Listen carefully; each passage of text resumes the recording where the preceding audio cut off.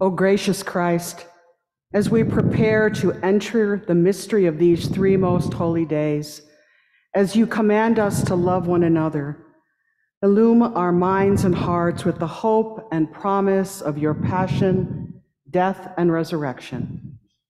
Amen. Please be seated.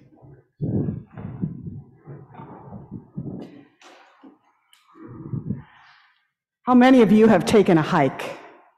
Oh, perhaps I should rephrase that.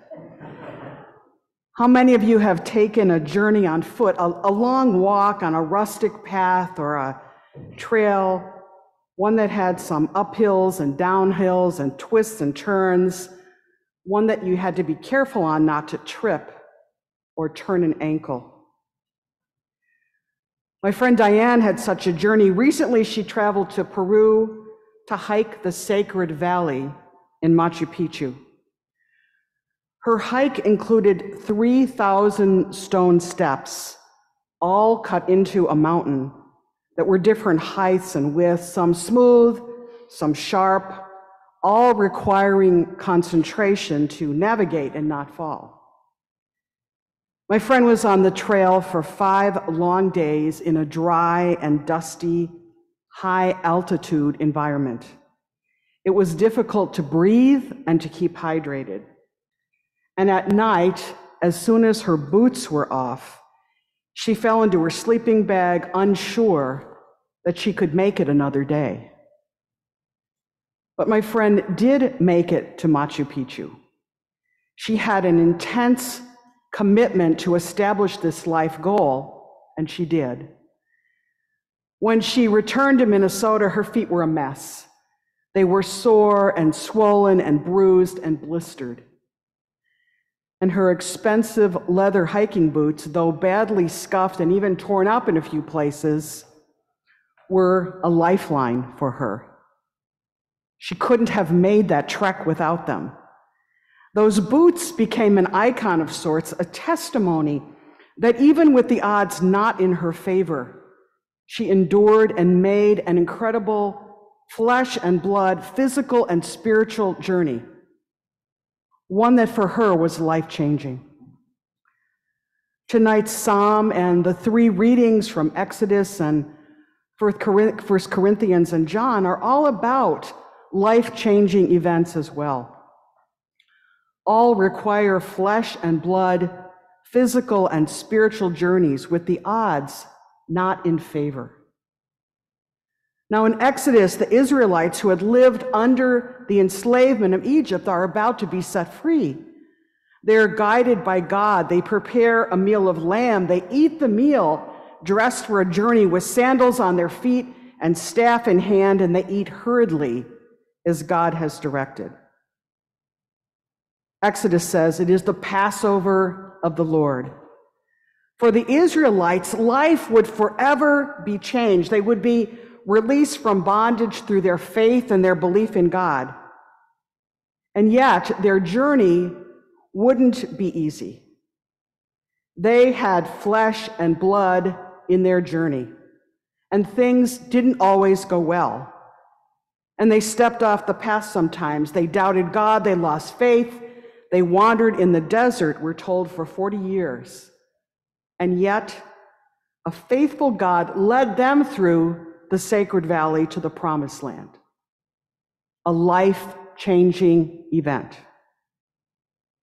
And in 1 Corinthians, the disciples of Jesus also experience a life changing event as the Passover meal concludes. Having observed and remembered that God, in covenant with the Israelites, freed the Jewish people, Jesus offers a new covenant the embodiment of God within us. This is my body that is given for you. Do this in remembrance of me. This cup is the new covenant of my blood. Do this as often as you drink it in remembrance of me. A life changing event for the disciples another flesh and blood journey, another journey that would not be easy.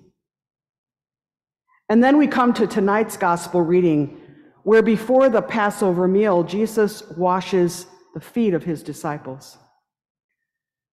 These followers of Jesus have been trekking with him, walking with him as he healed people, fed the hungry, opposed oppression, rose Lazarus from the dead. And imagine how many miles Jesus and his disciples walked in the course of their journey. And none of them were wearing spendy hiking boots. In fact, they weren't wearing boots at all. Instead, they were lucky if they were wearing sandals made from animal hides with scrap leather ties that laced to their feet and ankles. They walked in body and spirit through dry desert land and over rocky paths and up to mountain tops and down into towns, and they shared space in close quarters where there was no indoor plumbing. And forget about showers or bathtubs. Sometimes Jesus and his friends slept, slept rough, finding a place in a field or by the sea, walking, walking, walking. So imagine the toll it took on their feet. In tonight's gospel reading on Maundy, Thursday, the Jesus who walked into Jerusalem with his disciples for Passover and all that was to come next has walked right into our midst.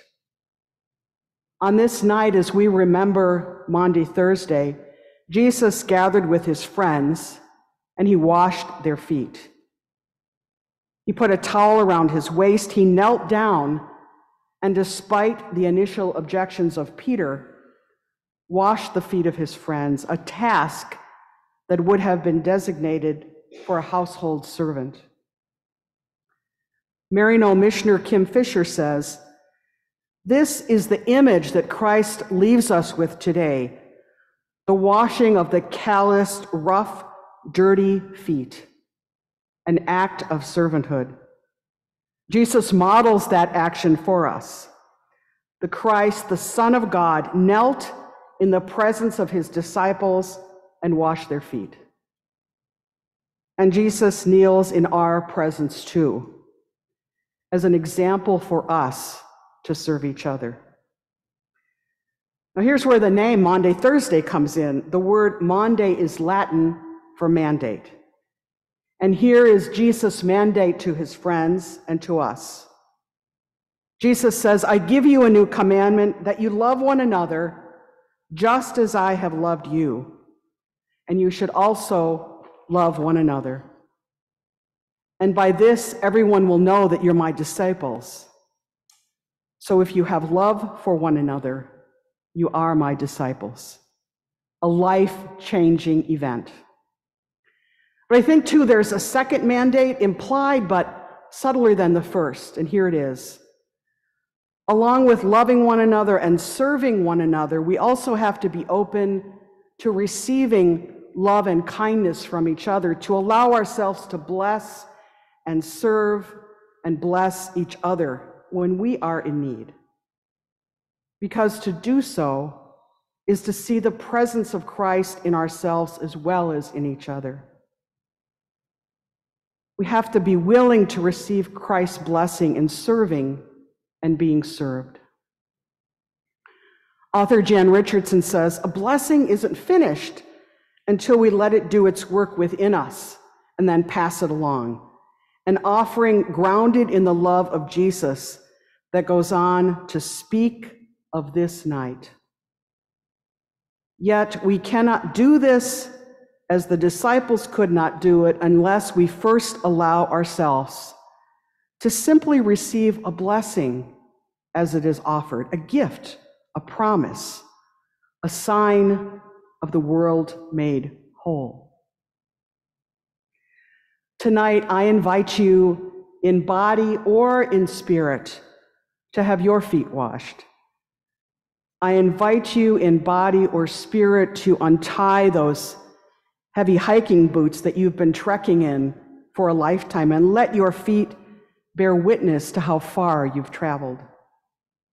Your feet tell your life's journey, a trek made by putting one foot in front of the other, just like Jesus did.